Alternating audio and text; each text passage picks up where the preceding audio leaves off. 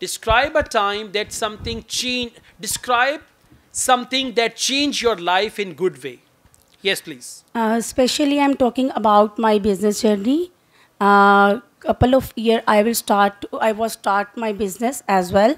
Uh, I will. Uh, I start my business, uh, close business, and uh, it's uh, uh, I, when I start my business, it's I, I have very difficulties. When I started, When I started this business, I have uh, very difficulties. be- had. I had very difficulties, but uh, I don't know about how to can say uh, how to can sell and how to can purchase. So I discussed with my uh, cousin. She also runs same business as well, and uh, she gave me uh, some tricks and She tips. gave me. She gave me some tricks and tips, and I follow same tips. So I connect our website for uh, daraz.com. It's very be- beneficial for beginner, and uh, uh, now I am a successful. So uh, that time I'll change my life, and I accomplish my goal, and uh, now I'm a successful lady.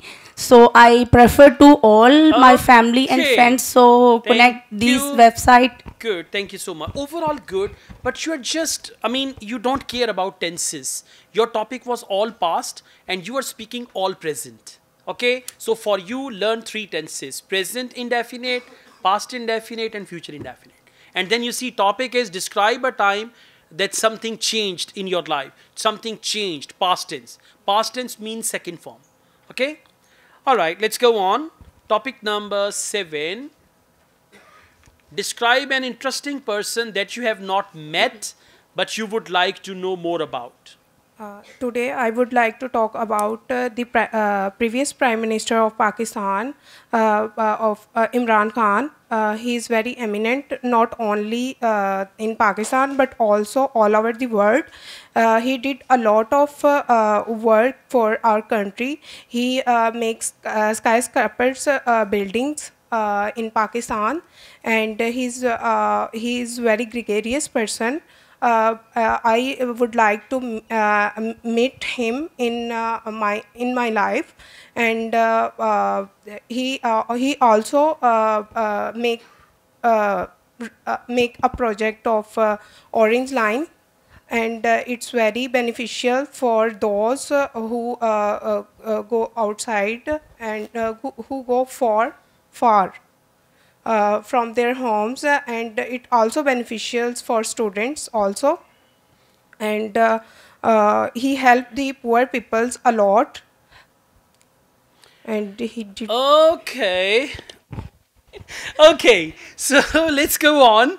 Uh, overall it's fine. All you need is practice number one number two connectivity of ideas we call it compound sentences so try to make compound sentences there are issues with fluency so as you practice you will become fluent okay good job keep it up कोई दीन मान ही नहीं है हाँ describe a successful business person you know yes please I have been interested in watching different food related, s- uh, watching or uh, reading different food related columns or documents in which uh, tells about food innovation and uh, related food products. Uh, since I found uh, Sir Kesar Raza, he is uh, owner of an amateur industry. He doing very well in food quality. he's doing very well he is doing very well in food quality and safety.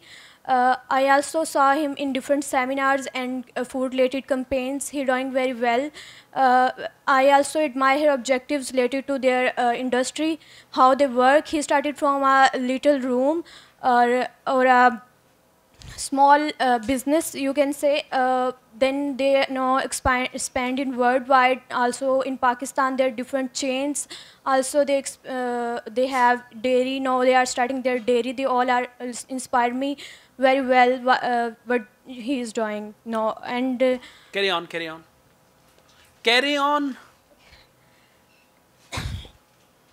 uh, the, the way, their objectives uh, their their company obje- objectives and mm, how they work to achieve the Okay, objectives So the first thing is sentence structure. Second, you need to expand on your ideas. Don't talk about same thing time and again. And at the moment you're using mainly simple sentences, try to use compound sentences. And then sometimes you're missing helping verb. You're saying he done. He done is wrong. He has done. Okay? These type of mistakes. Okay, let's go on.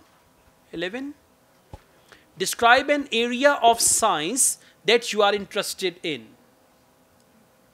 I find nearly all the areas of the science like uh, biology, chemistry, and physics very interesting. But the one that really Can you speak inspires louder, me please?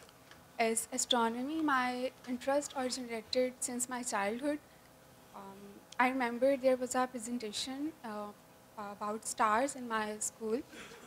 Uh, I came to learn all the names of the planets and stars uh, very soon than anyone. My fascination kept growing with age. And I love to watch videos on space by a special astronomers. And I love looking at the stars and planets because I think they are like a representation of nature in the sky. And uh,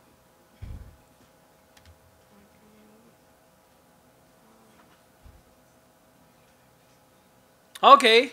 If you take a long pause, examiner will interrupt you and then move on to next part. So you need to elaborate. And you know, uh, I mean, don't be in a hurry. The first thing is look at one point, elaborate as much as possible. Because if you miss any point, there is no penalty. For example, if you only discuss two points out of three or four, there is no problem. So elaborate each point in detail. And uh, one more thing, you should, all of you should practice, you need to record your cue cards when you are recording there are seconds going on. So you can see okay now 47 48 49 build your stamina for one and a half minute answer.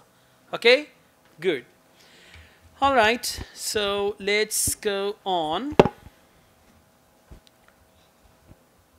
Describe a drawing or painting that you like Um, well, I uh, saw this painting at my home, and uh, my elder brother actually had the good skills in painting, and uh, he uh, uh, wanted to give me a good lesson, and he painted for myself because I'm I, I'm a youngest member of my family, and I was so naughty person. So uh, when I had the first look at this painting, this painting was giving me a good lesson and this painting seemed that a woman who had the two, two kids one kid uh, was a very naughty whereas the second one was uh, kept always kept a very calm position. So afterwards i learned a lesson and uh, uh, whenever my mother was uh, busy in uh, doing the different household chores so i always tried to give him give her a good support and help her a lot.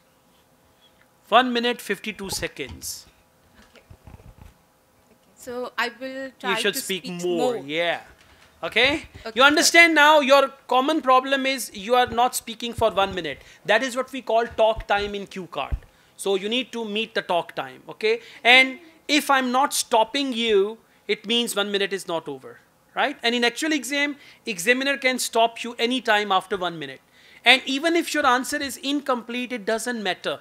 It's all good right? But overall it's good. Keep it up